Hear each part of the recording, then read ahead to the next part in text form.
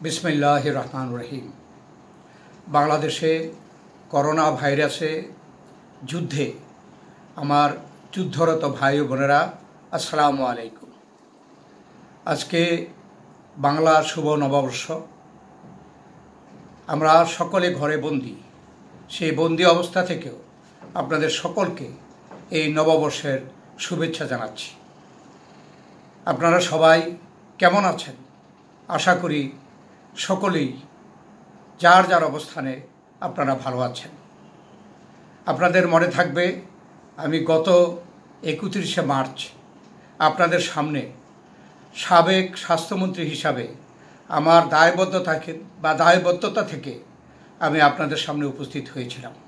আজকেও আমি সেই দায়বদ্ধতা থেকে পরবর্তী পরিস্থিতিতে আপনাদের সামনে আবার উপস্থিত হয়েছি।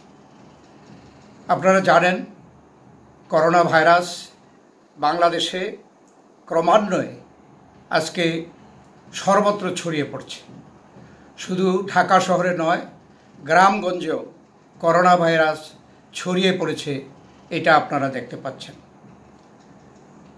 আমরা প্রথম থেকেই বলেছি যে এই ভাইরাস থেকে রক্ষা পেতে হলে ঘরে নিজেকে আবদ্ধ রাখা অর্থাৎ সামাজিক দূরত্ব বজায় রাখা এবং তারপরেই যত পরিমাণ সম্ভব টেস্ট করা। টেস্ট টেস্ট এবং টেস্ট বিশ্ব স্বাস্থ্য সংস্থাও তাই বলেছিল। কিন্তু দুর্ভাগ্যজনক হলেও সত্যি যে আমরা সেই পরিমাণ টেস্ট প্রথম দিকে আমরা করতে পারি নাই।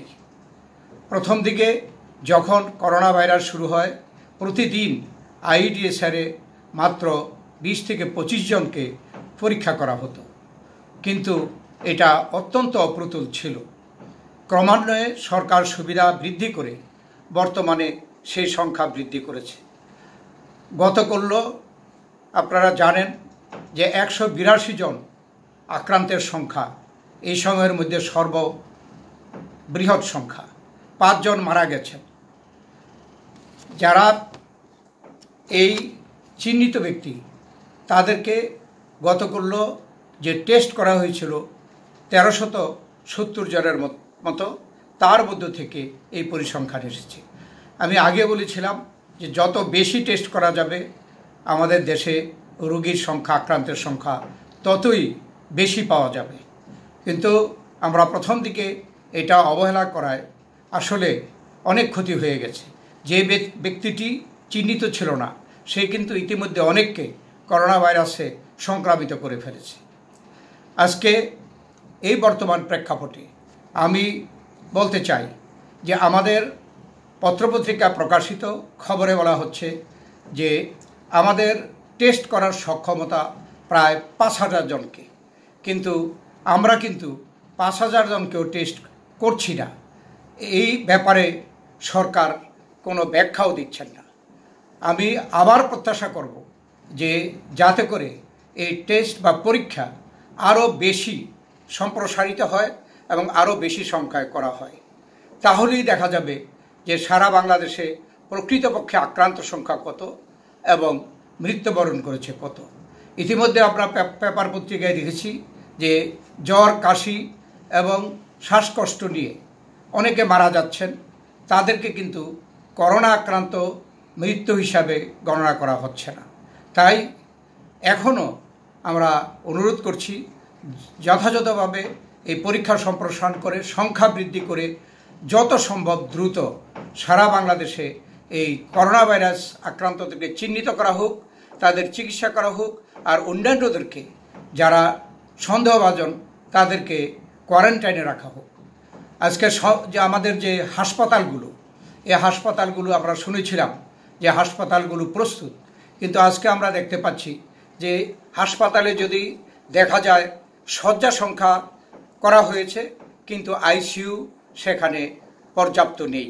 এমনকি অনেক হাসপাতাল করোনা ভাইরাসের জন্য চিহ্নিত, সে সকল হাসপাতালে এখনও এই আইসিইউ এবং ভেন্টিলেটর স্থাপন সম্ভব হয়নি তাই অনতিবিলম্বে আর সরকারের পক্ষ থেকে কোনো প্রকার আশ্বাস এবং সান্ত্বনা না দিয়ে বাস্তব ব্যবস্থা গ্রহণ করুন। হাসপাতালগুলোতে আইসিইউ বেড এবং পর্যাপ্ত ভেন্টিলেটর আপনারা সংগ্রহ করে এটা প্রস্তুত রাখুন। শুধুমাত্র হাসপাতাল প্রস্তুত করার আমরা খবর পাচ্ছি, কিন্তু এই সুযোগগুলো যদি সৃষ্টি না করা হয়, এই হাসপাতালগুলো কোনো কাজে আসবে না। আজকে করোনা ভাইরাসকে সম্মুখভাবে যুদ্ধ করছে যারা তাদের মধ্যে প্রধান হচ্ছে চিকিৎসক, নার্স এবং স্বাস্থ্যকর্মীরা। তারপরে আমাদের পুলিশ বাহিনী আছে, সশস্ত্র বাহিনী আছে। তারা রাস্তায় এই করোনা ভাইরাসকে মোকাবেলা করার জন্য সম্মুখ যুদ্ধে লিপ্ত। আজকে আমরা দেখতে পাচ্ছি যে চিকিৎসক, নার্স এভাবে এখন পর্যন্ত যে পরিসংখ্যান, একচল্লিশ জন চিকিৎসক দশজন নার্স ইতিমধ্যে আক্রান্ত হয়েছে। তাই তারা ঝুঁকি নিয়ে জীবনের ঝুঁকি নিয়ে কাজ করছে।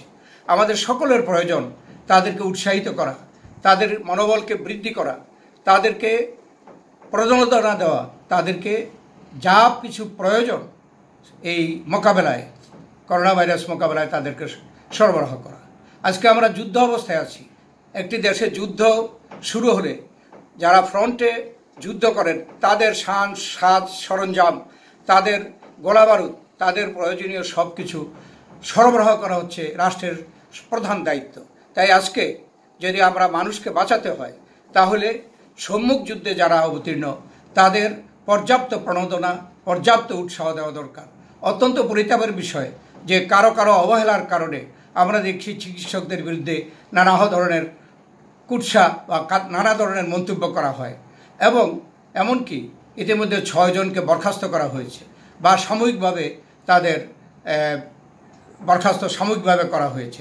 এটা এই চিকিৎসক, নার্স, স্বাস্থ্যকর্মীদের মনোবল ভেঙে দেবে। আমি আশা করি যে তাদের প্রতি ভালো আচরণ করে, তাদেরকে উৎসাহিত করে, দেশপ্রেমে উদ্বুদ্ধ করে, জনস্বার্থে তাদেরকে মাঠে রাখা প্রয়োজন।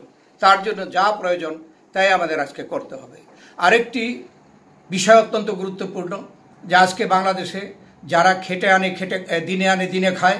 খেটে খাওয়া মানুষ, শ্রমিক, নিম্ন মধ্যবিত্ত এবং অতি দরিদ্র। তারা সকলেই কিন্তু আজকে একটা বিরাট সমস্যায় তাদের বাড়িতে চাউল নেই, খাওয়ার জোগান নেই। আজকে অবশ্যই আমাদেরকে, তাদেরকে বাঁচিয়ে রাখতে হবে।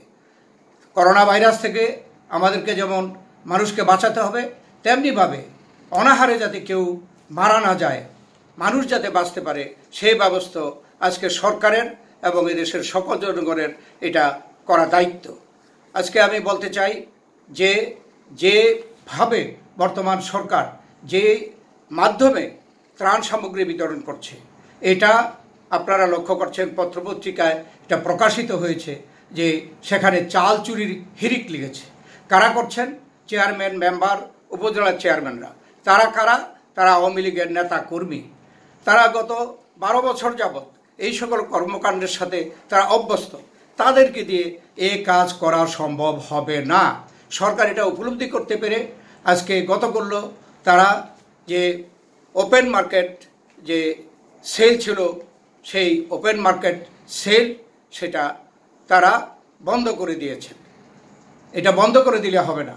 এই মার্কেট থেকে কিন্তু যারা ক্রয় করে, তারা হচ্ছে মধ্যবিত্ত, নিম্ন মধ্যবিত্ত। তাই আমার প্রস্তাব যে আজকে ত্রাণ যাতে করে বেশি মানুষের কাছে পৌঁছে, তার জন্য লিস্টকে সম্প্রসারণ করতে হবে। সরকারের কাছে বিজিডি টিআর এবং বৃদ্ধ মুক্তিযোদ্ধাদের লিস্ট সকল এলাকার আছে। এখন যারা খেটে খাওয়া মানুষ, যারা নিম্নবিত্ত, নিম্ন মধ্যবিত্ত এবং যারা গরিব, তাদেরকে এই লিস্টে মুক্ত করতে হবে। এই লিস্ট করা সম্ভব। যদি সরকার, সেনাবাহিনী সহ সকল সশস্ত্র বাহিনী এবং পুলিশ বাহিনীকে এই দায়িত্ব, পুরোপুরি দায়িত্ব দেন যে তারা চিরুনি অভিযান করে সারা বাংলাদেশে এই লিস্টটা তৈরি করবে এবং এর পরের থেকে যত রকমের সাহায্য, যত রকমের ত্রাণ বিজিএফ বিজিডি ত্রাণ এবং বয়স্ক ভাতা সব কিছু সেনাবাহিনীর তত্ত্বাবধানে সশস্ত্র বাহিনী এবং পুলিশ বাহিনীর মাধ্যমে সরাসরি যদি বিতরণ করা হয়, তাহলেই আজকে মানুষকে আমরা এই অবস্থা থেকে বাঁচাতে পারব। তাই করোনা ভাইরাস থেকে বাঁচানো যেমন আমাদের দায়িত্ব, তেমনিভাবে না খেয়ে যেন মানুষ না মরে, সেটার দায়িত্ব আমাদেরকে প্রথম সরকার এবং আমাদের সকলকে এই দায়িত্ব গ্রহণ করতে হবে। আমি আশা করি আপনারা এ ব্যাপারে সজাগ হবেন। আমি আপনাদের সকলের সুস্বাস্থ্য দীর্ঘায়ু কামনা করি। আল্লাহর কাছে মনাজাত করি, যেন আমাদের সকলকে আল্লাহ হেফাজত করেন। আমিন। এই বলে আমি শেষ করছি। আল্লাহ হাফেজ। বাংলাদেশ জিন্দাবাদ।